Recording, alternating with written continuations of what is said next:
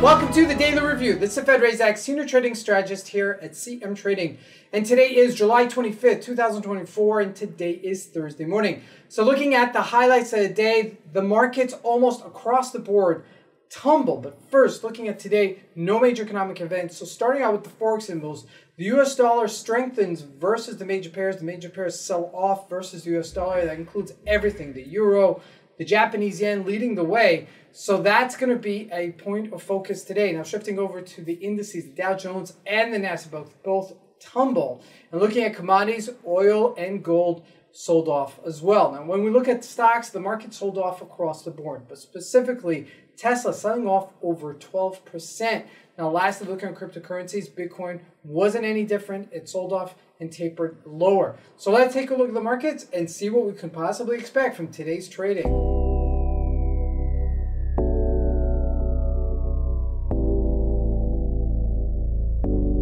So here we go. First with the Japanese yen. Just as a disclaimer before we start, when the markets sell off like this, they're trading in tandem. Okay. What means is if the Dow Jones is selling off, the dollar gets stronger. And that's what's happening right now. The dollar is getting stronger versus the major pairs, except the Japanese yen. Okay, the Japanese yen actually strengthening here versus US dollar as it's made its way back from 162 down to 152. So this is really a anomaly with what's happening in the Japanese yen. Maybe the market's getting stronger there and it's solidifying itself. So this is really very important. Now, it's at supportish level. It's at second supportish level. It was at 155 and then at 153 and now at 152 it's on supportish level. However, the stronger support level is 150 156. So we may see a further sell-off. Now jumping into the GBP USD also sold off, but you see the sell-off isn't as strong. The dollar getting stronger here,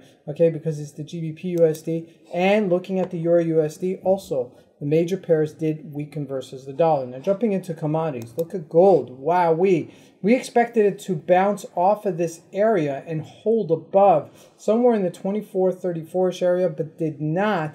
And sure enough, this looks like a head and shoulders, right? There's your head. This is one shoulder. This is your second shoulder bit at 24.18. And sure enough, 23.71 is where we're at. So I do expect a counter move, okay, onto the upside. That's going to possibly make its way. Now, looking at crude oil, also tanking here to $76 a barrel. Now, it is still trading in a range, but it did sell off, okay? Couldn't have anticipated this as not was was not an easy trade when you look at these two. However, looking at the Dow Jones, selling off to 40,177. Now, this is not huge. It's only about 1,500 points off of our all-time record highs, but we are at supporters level, so this is going to be an important junction for us. And if we look at the Nasdaq, Okay, the Nasdaq did sell off much stronger, much wilder than the Dow Jones, really representing the tech stocks. So let's take a look at those tech stocks, all right? Specifically, Tesla.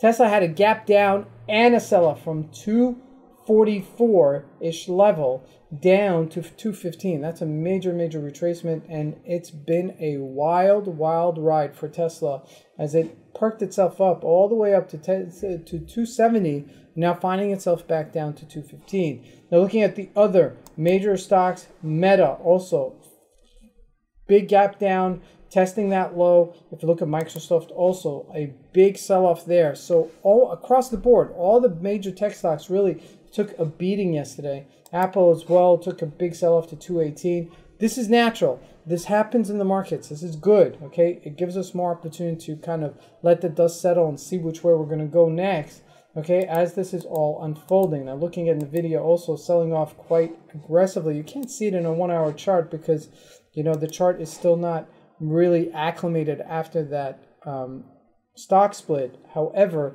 it's selling below its low of 114, which was a supportish level. Now lastly, looking at Bitcoin, was not any different, wasn't immune to what was happening in the sell off of the market and sold off as well. And we're testing our 63 500 ish level, which is important, okay, which we may see ourselves bouncing off of. So lots of activity in the market, a major sell off. Let's see if we get the counter move today. Sometimes that does happen as it's a over reaction to a sell off market We'll have a bounce. So look for that today, but be careful because, you know, on the downside, we could still have further dough.